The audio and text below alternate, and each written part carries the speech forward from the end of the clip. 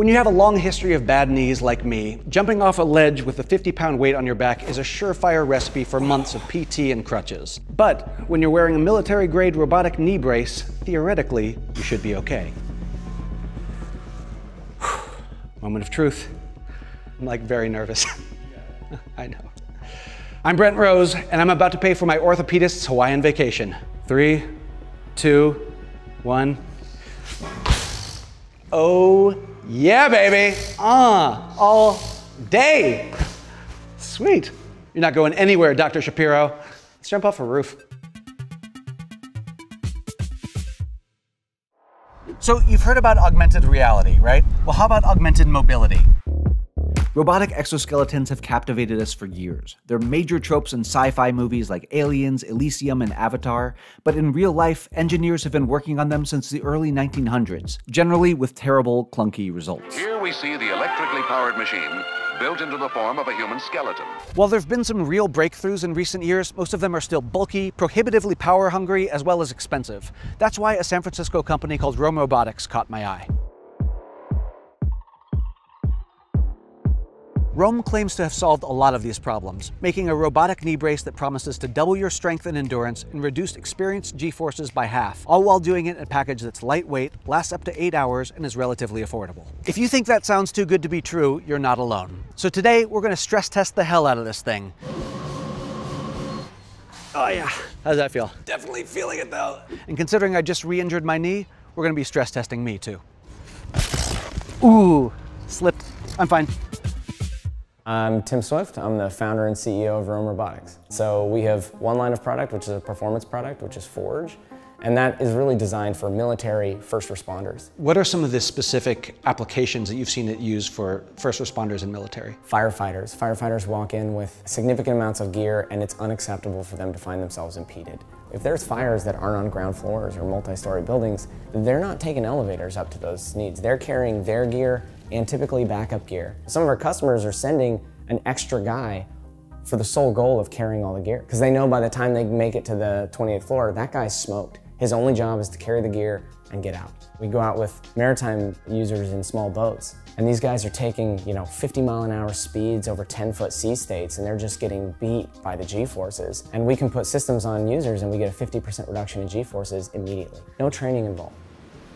I'm excited to beat myself up in this thing. it's great. What makes Roam's military leg brace unique is that it uses pneumatic actuators instead of heavy motors and servos. That means it's using compressed air to augment your knee movement, and in theory, give you up to two times your own strength. Specifically, this is designed for military members or first responders, so the size is probably pretty close to where you're at. Yeah, tech journalist, military, first responder, perfect, right? it's about the same. You have a brace on each leg, and then you have a power pack that powers both of them. So that comprises kind of the two main parts of the system. This contains the compressor, uh, some of the brains in that work in conjunction with the sensors on the units themselves, all controlled by the remote that's on your left shoulder. If you want to go ahead and press and hold, that'll turn it on. All right, moment of truth. Good morning. Oh yeah. Yeah, it's very springy. I couldn't help but notice that anytime I move, there's a bit of a noise coming out of it. what, what is that we're hearing? Yeah, so what you're hearing right now is the compressor itself charging up air to supply to each of the, debra the braces themselves. Part of what you're also hearing is when you move, um, there's the filling portion for the actuator. That's and then rumble. as you come back up, you'll hear venting. So some of that is both the brace sound and the power pack sound something we're uh, working towards reducing. But that's what you're hearing and that's what some of the vibrations are that you're feeling. Okay, so we're gonna start with a control test, and to do that, we're gonna do some squatting, which I haven't done in like 20 years. Normally, you wanna do this to failure. Failure for me, since I have a freshly tweaked knee, is gonna be any inkling of pain, or just me passing out with a dumbbell on my head. All right, so this is 185. Let's see how this goes.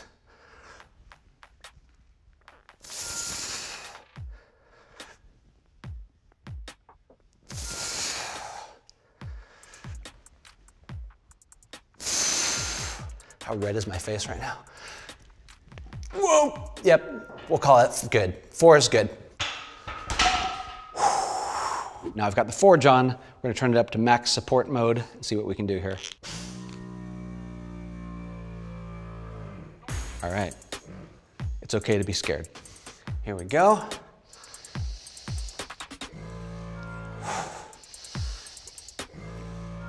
Huh. Definitely feeling a lot more push on my backs and my thighs. I also don't feel like I'm about to have an embolism, so that's good. I can still have a conversation, so that's good too. Oh yeah, I am definitely feeling it though. Let's call that failure. Eight. I'm pretty happy with that. I'm gonna go pass out for a second here. It's fine, everything's fine. So the Forge isn't built to assist with your running, but it is built in such a way that it shouldn't impede your running. So when it's powered off, it's not getting in my way, but it's not assisting either. It's not designed to assist, but let's see what happens. That's never gonna get old. it's really huffing and puffing. Let's go up to six. All right. So I, I, can feel there's some resistance. I can't tell if it's making it harder or easier. Again, I'm still feeling the weight. I'm feeling the pressure in the back of my thighs and around my ankles. But my knees feel totally fine right now. So that's good. It's not helping. But if I turn it off again, oh yeah. Oh yeah, let's go without definitely better without. Yeah, so I tried at level one and at level three. It was definitely impeding a little bit. It's just kind of resisting against your knees in a way that doesn't help you. It took some of the impact off my knees, which was nice, but I was kind of having to fight against it. So if you gotta run with this thing, turn it off. This is the impact test, which I'm rather nervous about. We don't have a boat, but this is gonna simulate a sort of high seas situation and the impacts that would be taking on my legs. We're on the high box. This one's a little bit scary for me. Three, two, one. Feel it on my feet. Excuse me. Burrito. Actually want to try to do that one again with the Spider-Man landing. oh, hell yeah. It's worth noting that while we're just testing the Forge today, which is designed for these types of high impacts, Roam has two other models, the Ascend and the Elevate. The Ascend is designed mostly for people with knee issues and it helps them with things like standing and sitting and going up and down stairs. The Elevate is made for skiers whose knees aren't what they used to be. I actually got to test it in Big Sky, Montana a couple winters ago, and it did in fact help me power through turns with less strain on my knees. Though the sounds of the air compressor in an otherwise tranquil place was pretty hard to ignore. So the Forge did pretty well in the lab in some controlled testing. So let's try a little less controlled testing. They told me specifically that it will not help me dunk a basketball. We're gonna prove them wrong. Perfect.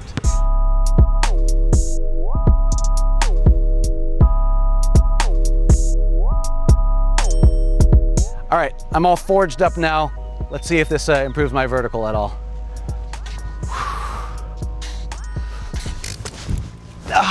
Mm, no. Come on, baby. Ah, I cannot fly. I was wrong to believe that I could fly, and I feel stupid now. Okay, fine. So it was not designed for dunking. Let's try a few things that it was designed for.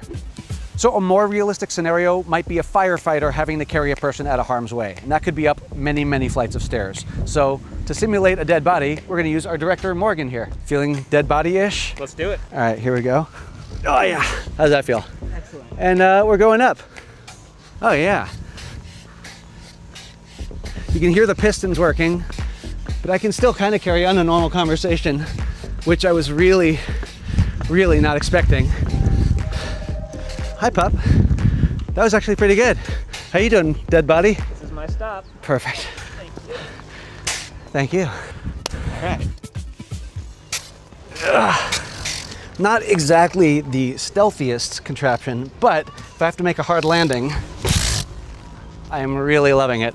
And if I need to sneak around, just turn it off get real sneaky. All right, let's talk highs and lows. Highs, I was able to squat more than my body weight eight times. That is something I never would have been able to do under normal circumstances. Two, I was able to jump off a high platform with weight and land like frickin' Spider-Man. I will do that all day long because that was stupid fun. three, I've been on my feet all day long carrying weight, going up and down things, carrying Morgan, and my legs feel good. My knees aren't really shot. I could still do stuff. And that's kind of a miracle in itself, especially considering I just tweaked my knee recently. Lows, when I didn't have the brace on, I tried to squat more than my body weight without warming up, and I thought I was gonna faceplant and die. Bad call. Two, I may have sprained this finger jumping out of a tree and landing awkwardly, which was definitely my fault, but what can you do? And three, this brace did not let me yam it like a professional basketball player. Truly a tragedy. But that's actually something that it could be programmed to do in the future, which I think is really cool. The other thing I couldn't ignore about the Forge is the noise. Right now it sits at about 65 decibels, which is rather prominent indoors. Definitely not ready for the public library. Once they sort that out, though, it'll be interesting to see how widespread this type of tech becomes, not just from Roam, but from other innovators in the personal mobility space. With all that being said, we got one more test left to do.